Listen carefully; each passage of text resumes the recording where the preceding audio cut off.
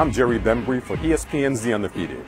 On Thursday, O.J. Simpson will appear before a Las Vegas parole board to determine whether he should be set free after serving eight years on charges of kidnapping and armed robbery.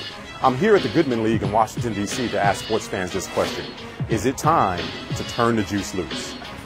After all these years, I think he should get released. I mean, he's a sports icon, man. Come on, man. He did, he did his time.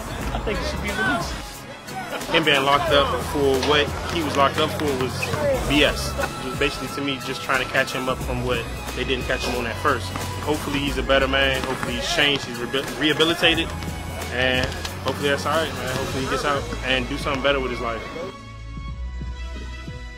Time has been passed. He has done time. Let the man free and let him regain a relationship with the kids. I think gives him a chance to finally start a new life and get, uh, get free. And I hope he takes advantage of it. To be honest, um, you know, he slipped out of the one where he was uh, killing his uh, girlfriend and he got caught for the kidnapping. So I, I, hope he finally learns his lesson and can start it and can start helping society. My advice to OJ. Somebody told me a long time ago, if you want to change, you got to start changing with yourself. The advice that I would give OJ would to be stay away from anything that, that will cause any problems. Try to be a mentor to some of these young players in the league.